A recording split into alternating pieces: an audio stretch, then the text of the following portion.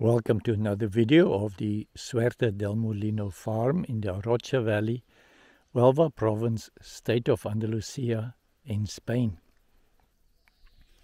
Here we deal with the nature we find in ourselves and around us and we try to make sense of it in a meaningful way. The flowers are out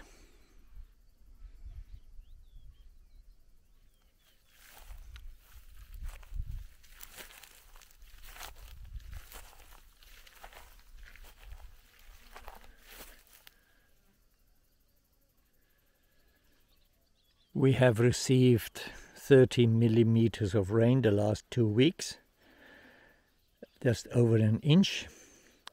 That brings our total to 500 for the rain season, which has ended now, and which is about half of what the local people tell me they are used to.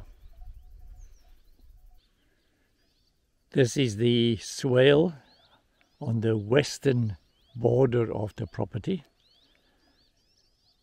It's also called the clay swale. A tremendous amount of clay came out of it. This clay swale is always good for a reference because the clay holds water extremely well. Very little rain over 14 days and still some water at the bottom of the swale. There is very little topsoil in this area. It might be three to five centimeters. The rest is clay. So what we have done, we have scraped all the topsoil from this almost meter and a half area placed it here on the left and then covered it with soil uh, with uh, clay. So the inside of this sausage is topsoil and the outside is clay. Clay holds water extremely well. It also holds nutrients and minerals extremely well. The big detriment on the side of the clay is without moisture it becomes like a rock, almost impossible for even plants to penetrate. This is an olive, the manzanilla, eaten by the deer. Now it's caged. They have some corn and pumpkin and watermelon to feed a deer should they be hungry, but there's also a lot of rye here they can eat from. The rye producing its seed pods right now.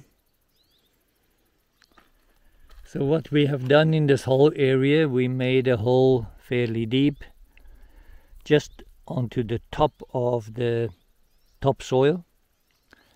In the clay, we will plant it, cover it, and then water it well. The reason why we keep the clay is because the clay holds the water. Once the temperature goes up to 45 degrees, we are unable to supply the needs of these plants, and then the clay should hold the water. This is the Andalusian pistachio. It doesn't produce any fruit or seeds.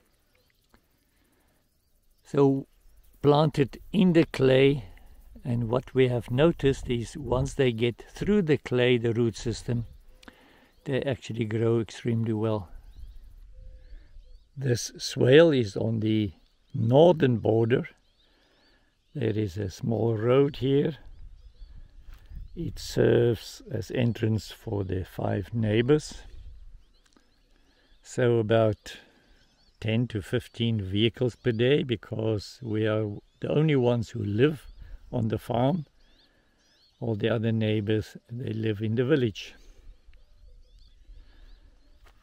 Again, a lot of clay, Paulownia, quite small, These Paulownias are much bigger and all of them are bigger in size on the same swale.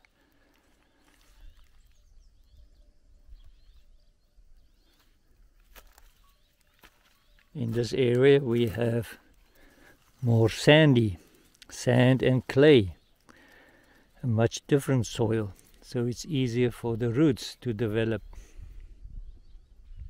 On this swale in the garden, we have filled the whole swale with manure,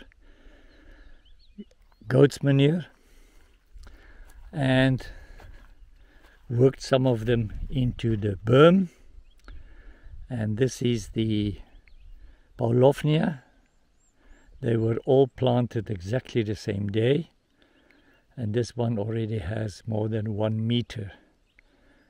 It almost looks like the lemon tree is getting smaller by the day. Till next time, goodbye.